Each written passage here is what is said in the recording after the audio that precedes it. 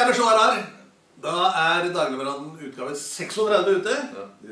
Men eh, ikke vær engstelig. Det skal være sju aviser til før jul, så det kommer mye mer. Eh, denne uken Reidar, så har jeg følelsen av at det er en eh, ung og fremadstormende landbruksminister som har vært i søkelyset i særlig grad. Ja, det er klart bransjen er veldig opptatt av Sylvi Listhaug av flere grunner. Men de to viktigste er nummer én kanskje hvem har hun jobba for den gangen for kort tid siden hun var konsulent i First House? Ja, det, Det er det ingen andre departementsrådene i Landbruksdepartementet som vet. Og det er det mange som er mektig irritert over. Og syns det er litt rart at det skal være så hemmelig. Ja. Det er jo, det er jo First House som må åpne opp for det. Ja, Hvorfor gjør de ikke det? Det er Bjørn Rikard. Gamle ICA-kjempe. Kan ikke bare si hvem det er? Så er vi ferdig med det. Ja, helt unødvendig å være så hemmelighetsfull, Bjørn Rikard. Mm.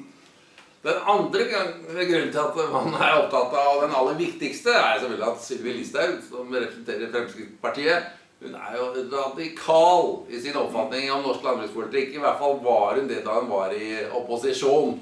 Så det blir jo veldig spennende å se hva hun kan få til. Og selvfølgelig både bønder og næringsmiddelindustrien frykter jo at eh, hun skal få gjennomført eh, bare deler av den radikale landbrukspolitikken hun har eh, predikert i Stortinget tidligere.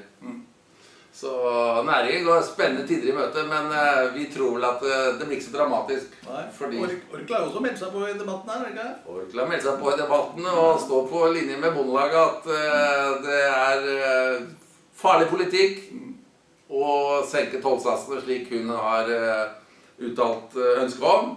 Og det er samtidig et signal om utflagging av norsk næringsmiddelindustri.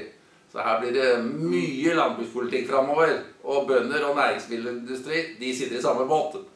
Og vår gamle venn Håkon Magli er verdt å lytte til. Håkon Magli er sentral i dette. Konserndirektør i Orkla.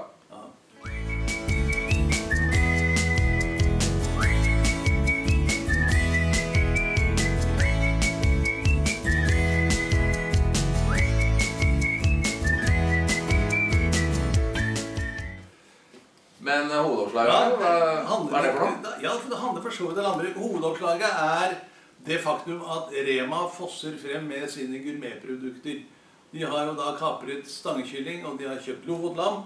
Og de øker og øker, og de har Bocuse-laget, det store kokkelaget, på lag, og skal øke og øke profilen. Så hadde jeg intervju med Ole Robert Reitan, hyggelig som alltid, og så sa jeg er det mulig å drive en sånn Ole Brumm-politikk?